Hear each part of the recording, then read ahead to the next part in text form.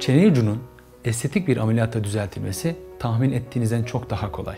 Burun estetiği ameliyatı için başvuran hastaların birçoğunda çenelerinin küçük olduğunu saptamaktayız.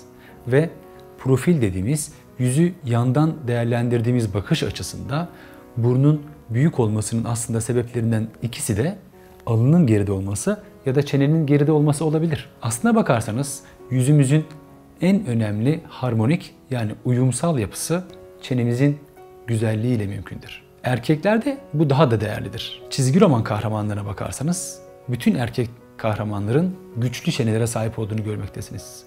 Dolayısıyla maskülen yapının, erkeksi görünümün güçlü çenelerden ve güçlü kemiklerden oluştuğunu bilmekteyiz. Dolayısıyla küçük bir çeneye sahip bir yüzde burun her zaman daha büyük görünür. Bu nedenle çene ucu estetiği çok sık yaptığımız, özellikle daha önce bu konuda hiçbir eleştirisi, şikayeti, memnuniyetsizliği olmamasına rağmen çektiğimiz fotoğraflarda çenesinin küçük olduğunu saptadığımız hastalarda burun ameliyatını eklediğimiz önemli işlemlerden, ameliyatlardan bir tanesidir.